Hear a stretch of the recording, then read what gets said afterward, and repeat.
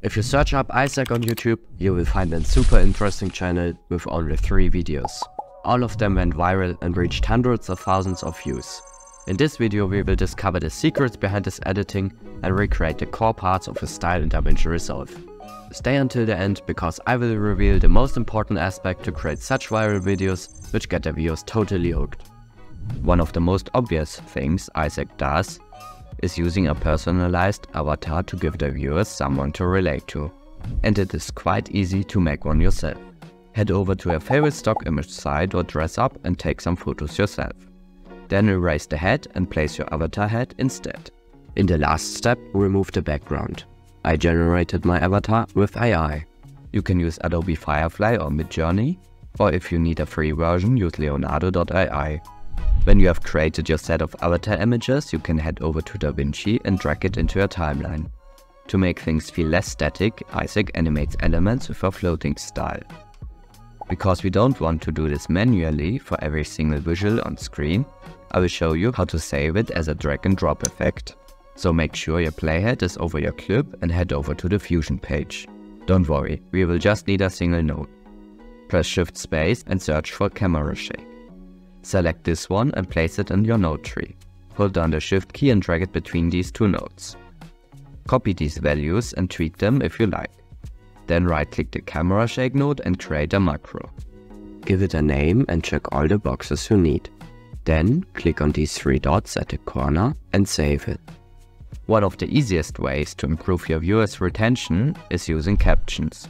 But to ensure they are readable when they appear fastly animated on different backgrounds, we can't just use plain text. Isaac mostly uses bold white letters with quite thick borders and a subtle shadow. Go to Effects and in the Titles category, drag the Text Plus node into your timeline.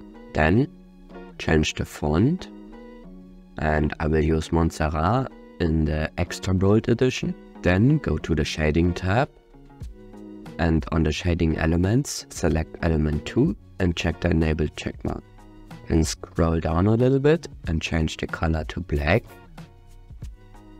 and the thickness to 0.15. The next things I like to do in the Fusion page, so click this little icon. I will close down the spline and I will add a drop shadow between these two nodes. I will change the drop distance and the strength.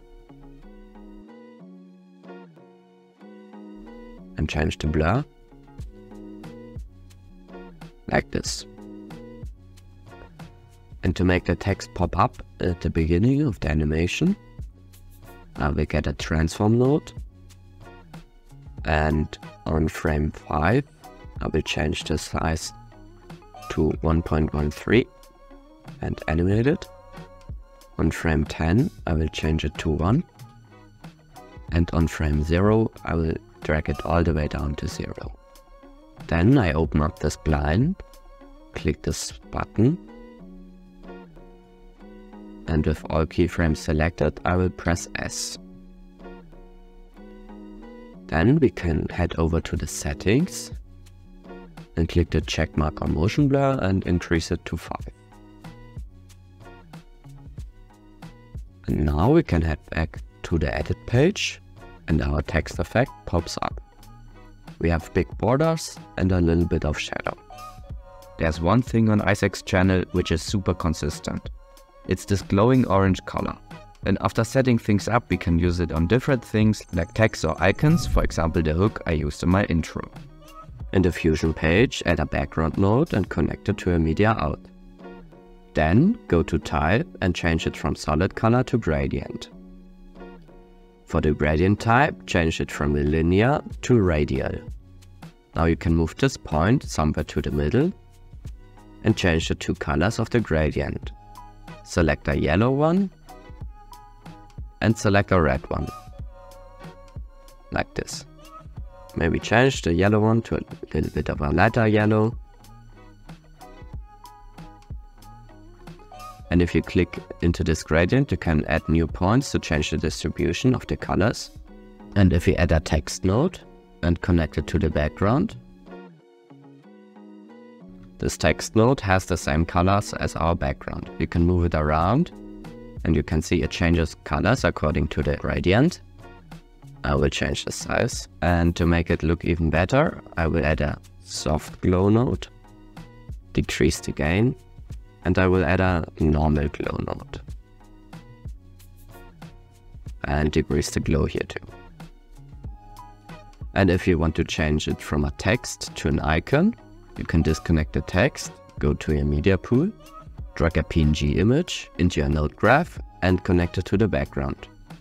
Now you can see the PNG image has the same colors as our background. And if you want to change it from yellow to more of an orange color, you can use these proportional triangles to change the gradient. For example like this. So we have captured some of the outstanding editing techniques of Isaac, but the most important aspect, which separates his videos from the dozens of other well-edited but failing videos, is packaging. He takes information which is already out there and delivers it with great storytelling, a well-rounded brand, and retention capturing editing. And if you want to take your next step to succeeding on YouTube, watch this next video.